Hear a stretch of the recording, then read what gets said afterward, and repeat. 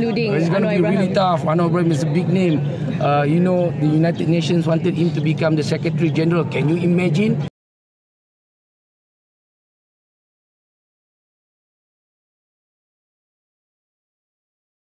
For the past uh, four years, uh, we know our area really well. Uh, our voters are very close to us. I am a local. Both our candidates are local, so we believe uh, that they will choose Sorry, yeah? the candidate that is among them. That is one of them. So, inshallah, God bless uh, all of us, and I hope uh, this campaign will run smoothly, and uh, we believe they, the rakyat will choose uh, the right candidate, which is from Perikatan National. Thank you very much. Dato Sri, sorry, do you feel that as an incumbent and a former uh, Menteri Besar that you have the advantage here, especially as a local Tambun boy and very familiar with the place? Wow, that's that sort of question is very hard to answer. But I think people do know me.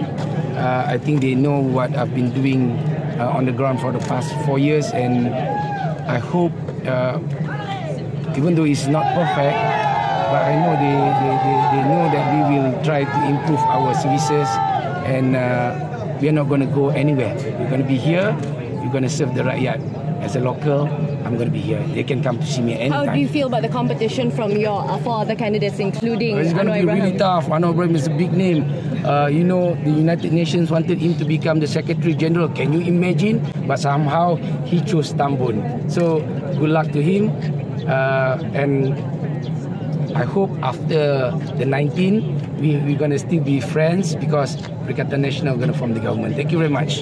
So what are your campaign plans? Are you trying to go around the country to support your party I'm gonna go as well? of course, going to be of course. That's my responsibility as Timbalan, as the deputy chairman of Perikatan National. I will help other candidates as well. But our team here will move and uh, we campaign every day.